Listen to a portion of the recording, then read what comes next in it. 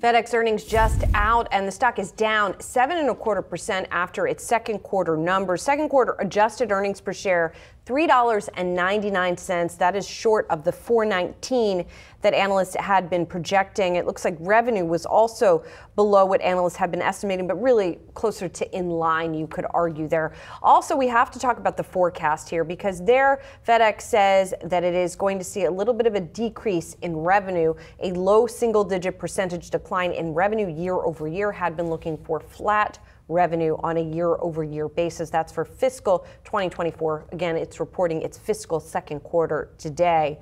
Um, so those disappointments are what is pushing that FedEx uh, stock down here um, as we look through the release and, and try to suss out what exactly is going on. Yeah, and it was, I mean, to take a step back too, you know, this stock had been very strong performer this year. I mean, it was up more than 60% heading into this earnings print. And a big, a big theme for FedEx has really been, you know, Julie, the execution, this focus on efficiency, the kind of cost and productivity improvement plans they have in place. Um, and also, though, I am interested in their guidance, the commentary they give on there. I would have thought, you know, consumer has proven resilient. So I would have, I would have thought maybe they would have relatively broadly more positive things to say about the outlook in the holiday quarter. So I think it'll be interesting to hear about what they have to say about that on the call. You can hear the CEO here in a statement saying, uh, talking about two consecutive quarters of operating income growth, margin expansion, and he talks about that happening even with lower revenue. Yeah talks about the progress they're making again on their transformation as they navigate what he's calling here an uncertain demand environment. So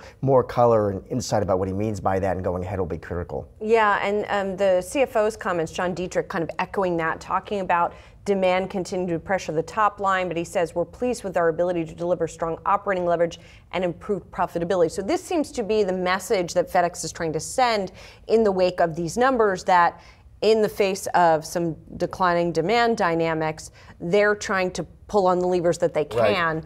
to keep the business more profitable. But investors not buying that um, argument, at least not at the first blush. To your point, what they say on the call is going to be important here, more color that they offer, and we'll see if there's any alleviation of uh, the, the shares falling here. Yeah, I mean, I also, you know, I think it'll be interesting to hear on the call what, given that environment, what kind of pricing power do they mm-hmm, think they have? Mm-hmm. Not just now, but looking ahead. Also, remember Yellow going bankrupt. I'd be curious to see whether you know have they been able to continue kind of meaningfully capitalize on that as well. That's another interesting thread. Yeah, definitely. It looks like also the ground unit did have some improvements on volume and price per package. To your point um, about pricing power, so we'll continue to dig into that, and we will be listening to that call.